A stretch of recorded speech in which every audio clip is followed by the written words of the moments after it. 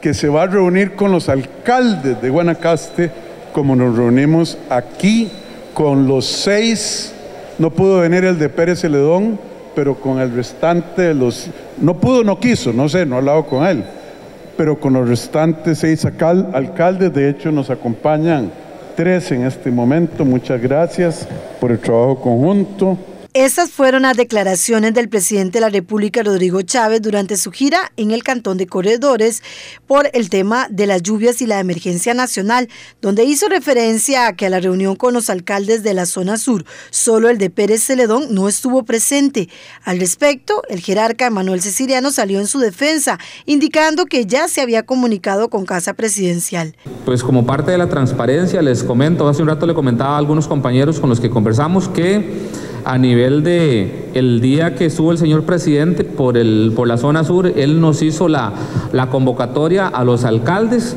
Eh, sin embargo, bueno, ese día que, que, fue esa situación fue el día que, que entramos ya en el, en el decreto de emergencia. Ya ese día, ese miércoles a las 2 de la tarde llegó la firma del decreto y cuando el decreto llega firmado todo cambia, todo cambia, todas las, se activan todas las, todas las eh, pues todas las diferentes alertas que existen y se empieza a trabajar 24/7 con el tema de la, de la emergencia. Y también el, la muchacha enlace de Casa Presidencial que nos dijo, nos mencionó que si teníamos situaciones de muchas emergencias, pues que se entendía que no pudiéramos hacernos presentes, entonces pues en el caso nosotros ya teníamos varias eh, situaciones que se estaban dando y pues se le comunicó a, a ellos que pues que eso estaba sucediendo. De igual manera, uno sabe que el señor presidente tiene mucho que pensar y mucho que hacer y, pues en su momento dijo que desconocía cuál era la situación, pero sí, sí se dio las cosas eh, así como se las estamos diciendo y, y pues también uno poniéndose muy de la mano con los compañeros de la zona sur que fueron los más afectados.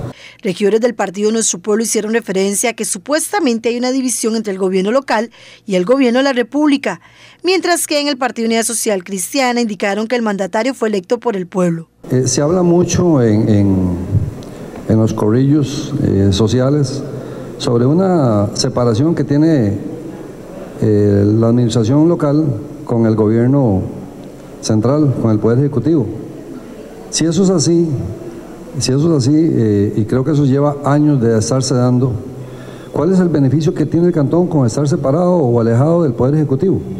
O sea, creo yo que es lo más conveniente es que estemos cerca, cerca del gobierno central, del Poder Ejecutivo, para eh, lograr acuerdos y, obtener ayuda y proyectos en el cantón. No es conveniente para ese cantón estar separado, entonces primero quisiera saber si es así y si, y si es así, o sea, cuáles son los beneficios que obtiene el cantón de tener esa, separación del gobierno central. Yo voy a reiterar la, pregunta que hizo el compañero Wilber sobre el divorcio que hay entre el gobierno local y el gobierno central. Y le voy a recordar a don Carlos que el presidente Chávez aquí no pasa ni a orinar. Si usted no se ha dado cuenta, pues ya el presidente tiene casi dos años de estar, creo que dos años de estar en el gobierno. Estamos en un gobierno que ya va de salida. Lo he visto en Buenos Aires, lo he visto en otros cantones. Eh, y esto no es nuevo para el cantón, Carlos, compañeros. Pasó con el presidente Solís, pasó con el presidente Alvarado. Yo estuve en actividades con el presidente Solís como músico, solo, sentado en una banquita, en una silla en el mercado central, en el mercado de San Isidro, solo. Le pregunté dónde estaba el alcalde y me dijo, no sé, no va a venir. Ahí en el, yo estuve ahí tocando, tengo fotos de eso. Así es que eso no es nuevo. Si, si usted, don Carlos, no se ha dado cuenta de eso, pues va a tener que, que un poquito retrotraer la historia. Pero ese divorcio que hay entre el gobierno local y el gobierno central es de vieja data, eso viene de hace 20 años. Quería recordar algo. Este, el presidente bien dice que es el presidente del pueblo y este pueblo llevó a la señora Pilar Cisneros, no sé si ustedes la han visto por aquí, y al presidente también, al, a donde está ahorita.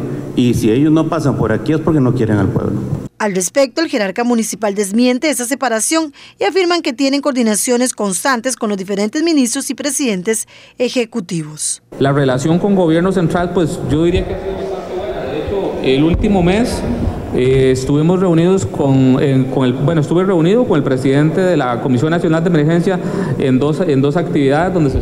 Y de hecho, el día viernes, si Dios lo permite, voy para Corredores a reunirme con el ministro de Justicia y Paz para poder eh, firmar el, convenio o la carta de entendimiento del proyecto eh, Centro Cívico para la Paz.